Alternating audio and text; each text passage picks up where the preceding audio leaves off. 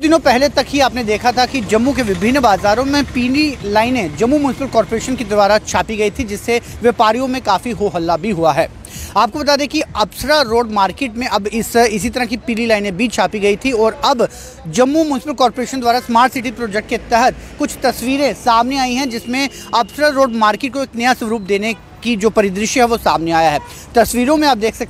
सकते हैं कि स्मार्ट सिटी प्रोजेक्ट के तहत अफसर रोड मार्केट को जब उसका रूप बदला जाएगा तो वो किस तरह से दिखाई देगा। अब ऐसा माना जा रहा है कि शायद कुछ दिनों पहले जब रातों रात अफसर रोड मार्केट में दुकानों के बाहर पीली लाइनें ड्रॉ कर दी गई। उसका मतलब शायद स्मार्ट सिटी प्रोजेक्ट के तहत उसकी स्वरूप चेंज करने को लेकर ही उसका कनेक्शन जो है वो जोड़ा जा सकता है। हालाँकि कहावत भी है कि गेहूँ के साथ अक्सर कुन भी पीसे जाते हैं। लेकिन हम ये उम्मीद करेंगे कि जम्मू को एक स्मार्ट सिटी प्रोजेक्ट के तहत बनाते हुए जम्मू म्यूनसिपल कॉरपोरेशन इन बातों का ध्यान ज़रूर रखे कि इसमें किसी गरीब की रोज़ी रोटी ना सफ़र हो। और यदि ऐसा कुछ हो तो जम्मू म्यूनसिपल कॉरपोरेशन उसे कंपनसेट करने के लिए उसके कोई प्रोविज़न ज़रूर बनाए, ताकि यदि किसी गरीब की रोज़ी रोटी जाती है तो उसके अपने घर और अपने परिवार का पेट पालने के लिए एक और ऑल्टरनेट उसे ज़रूर प्रोवाइड करवाया जाए। हालाँकि जम्मू स्मार्ट सिटी के तहत जो ये तस्वीरें सामने आई हैं, जिसके तहत अफसर रोड मार्केट को एक नया स्वरूप दिया जाएगा, उसके लिए टेंडर प्रक्रिया भी शुरू हो चुकी है, और उसका लिंक भी हम आपको इस अपने कैप्शन में दे देंगे, जिसके तहत यदि कोई इस तरह का स्वरूप बनाने के लिए